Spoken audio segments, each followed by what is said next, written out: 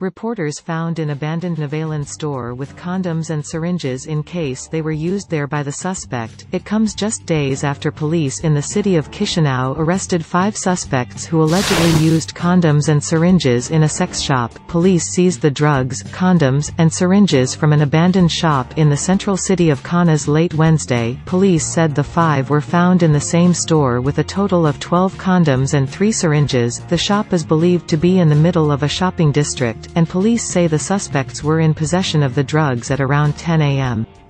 Thursday in the building next door, the shop owner was able to identify the four men by looking at his license plate and told police they were from Ukraine and were suspected to have bought the drugs, the local newspaper reported on Thursday.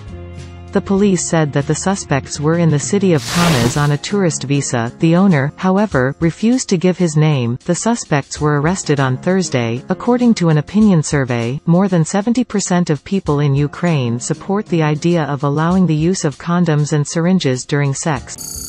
Thursday in the building next door, the shop owner was able to identify the four men by looking at his license plate and told police they were from Ukraine and were suspected to have bought the drugs, the local newspaper reported on Thursday.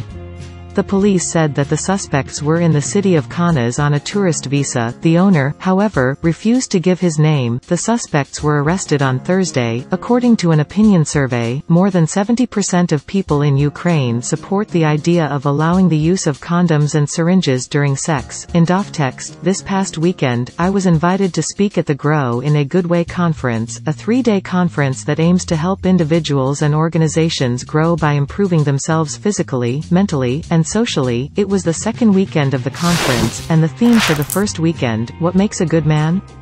was self-care. I was very excited by the topic of self-care, and decided to speak. The first thing I wanted to say was that I am not in the business of giving advice, only sharing my own experiences. My experience with this topic has been very beneficial and inspiring, however, I do want to share a few things I have learned through my experiences. Point 1, Self-care isn't all about the work Self-care is all about the work. Self-care is about learning to take care of yourself. Point 2. The work isn't all that matters the work that